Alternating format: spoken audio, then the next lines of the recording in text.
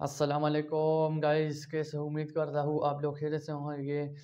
आज का हमारा टॉपिक है कि लेक्चर है cell membrane by fluid mosaic model तो चलिए वीडियो को स्टार्ट करें, लेकिन सबसे पहले वीडियो से गुजारिश है कि नए आने वाले लोग इस चैनल को सब्सक्राइब करें और वीडियो को पूरे देखिए लाइक करें कमेंट सेक्शन में अपने हाथ ज़रूर कर दीजिए ताकि नए, हर नए आने वाली वीडियो की अपडेट्स आपको बर वक्त मिलती जाए।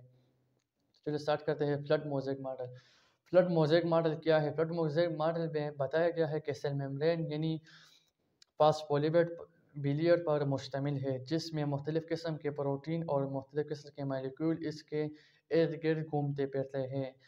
इनिशियल हिस्सा नुमाइंदगी करता है कि जे जी के कुछ हिस्से यानी साइटोप्लाज्म के कुछ हिस्से आज़ादाना तौर पर फ्री मूवमेंट के तौर पर वो घूमते हैं और इसका नेचर वो में मुबतला, बहुत पतला है। और इसकी जो साइज़ है, वो आठ से टेन मीटर्स के बराबर है। और इसी तरह फ्लड मोजेक मॉडल का स्ट्रक्चर फ्लड मोजेक मॉडल के अफ़ाल किया है? ये पानी में ग्लेंशियल मादों के गुजरने की सहूलत फराहम करता है। ये सेल जेल यानी प्रोटीन के साथ मुंसलिक करके मुंतकिल किया जाता है।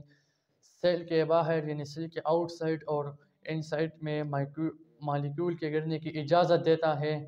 और ये सेल के आर्गेनल्स की प्रोटेक्शन यानी हिफाजत करता है और इस प्लाज्मा में जो शामिल कुछ कार्बोहाइड्रेट्स और इंसुलिन के पाबंद होने के लिए भी मुआने